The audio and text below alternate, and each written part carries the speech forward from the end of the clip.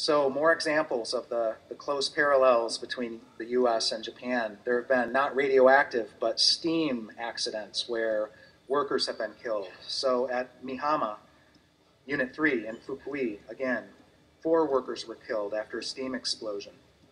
The subsequent investigation revealed a significant lack of systematic inspections at Japanese nuclear power plants. Surry in Virginia, which David Lochbaum mentioned yesterday, may have cleaned up its act a bit after two separate steam fatality accidents. Um, one killed two workers in 1972, another one killed four workers in 1986, and that's the single largest loss of life uh, at a at nuclear power plant in the United States. Surry's also infamous because they're experimenting with dry cask storage out there. They have a real smorgasbord of different cask models, and they've had problems. They've had leaks of the inerting uh, heat transfer gas um, out of one seal, perhaps out of a second seal. It hasn't leaked completely out, but if it does, oxygen can get in, the waste can overheat, and you can have corrosion of deterioration of the fuel inside. So um, this slide is about radioactive steam releases. Now these are not scalding people to death, but they do contain radioactivity that then leaves the site. Daiichi had such an incident in 2006. A really uh, controversial one was the January 2012 steam release from a failed steam generator tube at San Onofre in Southern California.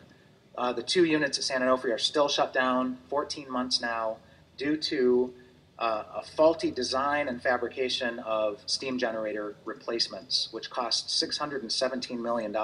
And for details on that, Arnie Gundersen is the expert witness for Friends of the Earth on this matter, and uh, hopefully those reactors will never start up again.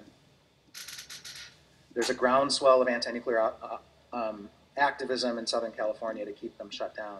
So earthquake risks. Um, before Daiichi, there was the 2007 quake, ironically on the Trinity atomic blast anniversary at Kashiwazaki Kariwa, which is the largest nuclear power plant in the world, seven large-scale reactors, some of which had begun to come back to service, but then the 2011 earthquake catastrophe, of course, has shut down all operable reactors in Japan except for two in Fukui Prefecture at the Oi nuclear power plant.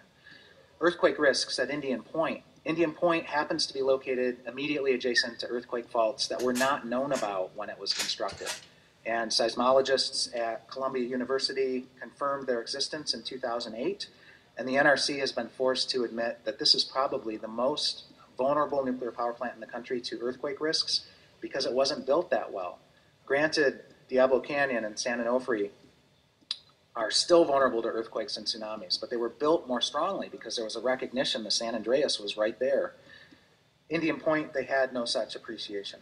And this image shows Indian Point in the distant background on the Hudson River, and uh, Mrs. Sas- Sachiko Sato, a Fukushima organic farmer, Aileen Mioko Smith from Green Action, and also an organic farmer from Hokkaido and another leader of the anti-nuclear movement in Hokkaido, we went up to visit the Indian Point Safe Energy Coalition folks. That was September 2012.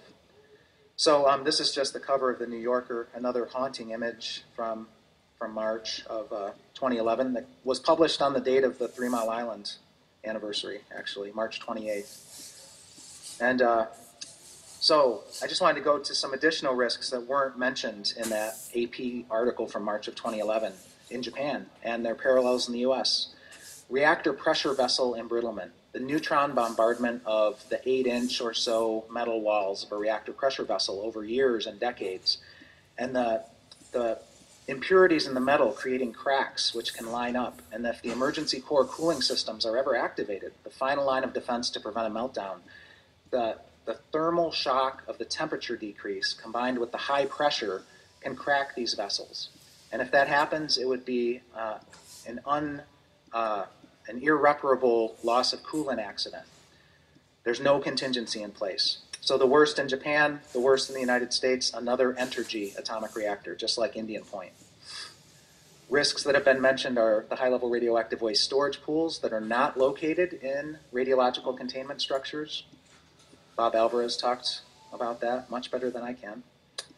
Um, we're having headlines about leaks at Hanford, and the irony of this is it harkens back 70 years, really, because Hanford generated the plutonium for the Nagasaki atomic bomb, continued to for the Cold War arsenal. Well, those high level radioactive waste, liquid, and sludge storage tanks, the single shelled ones, when they leak, it's directly into the environment. The first double shell had a leak in August. Granted, it's between the walls of the two shells and not out yet, but it shows there's problems. Leaks at high level radioactive waste storage pools in the United States. There are more than a half dozen pools in the US that have uh, documented leaks. Indian Point's pool leak is ongoing as we speak.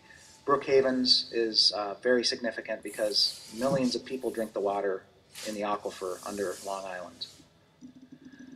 So, Fault Solutions, a big fight that's coming our way, centralized interim storage. They want to uh, put the waste onto the roads, the rails, the waterways, including the Hudson River, is possibly targeted for 58 barge shipments of high level radioactive waste from Indian Point down to the port of Jersey City to get it to parking lot dumps, whether at a place like Savannah River Site on the right here, um, or Waste Isolation Pilot Plant in New Mexico, or Native American reservations out west. All for what? To create a shell game on the roads and rails and waterways, because if it goes to a parking lot dump for 50 years, it may have to go right back to where it came from for permanent disposal. It accomplishes nothing except transfer of liability onto the American taxpayer from the utilities that profited from the generation.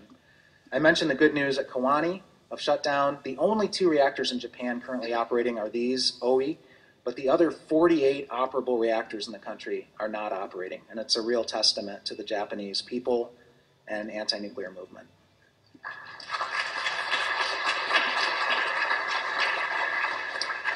A lot of this has already been talked about by previous speakers. The 1972 warnings that the Mark I was a catastrophically flawed reactor. Um, the, the GE3 blew the whistle in 1976. Uh, also in 1986, the, the NRC's point man at Three Mile Island warned about the Mark I. So we have a campaign at Beyond Nuclear called Freeze Our Fukushimas. Uh, in the immediate aftermath of the Fukushima catastrophe beginning, we prioritize the Mark 1s and Mark 2s. If we can't shut these down for safety risks, then you know, what can we shut down after after Fukushima? The Japanese parliament identified collusion between regulator and industry as the root cause of the Fukushima catastrophe. We have collusion in spades in the United States between the nuclear power industry, and here are four of the five NRC commissioners they are poised to pass a majority vote against putting filters on the vents at the Mark 1s and Mark 2s, bowing to pressure from industry and from House Republicans. So, uh, Gene Stilp, who's a watchdog on Three Mile Island, a survivor of the accident, lives in Harrisburg, showed up in Michigan in 1999 with a banner that said Three Mile Island. This is a Bob Del Tredici photo. Chernobyl, and he said, Where next? And of course, we have to add Fukushima to the list, and we again have to ask, Where next? We have to shut them down before they melt down. Thank you.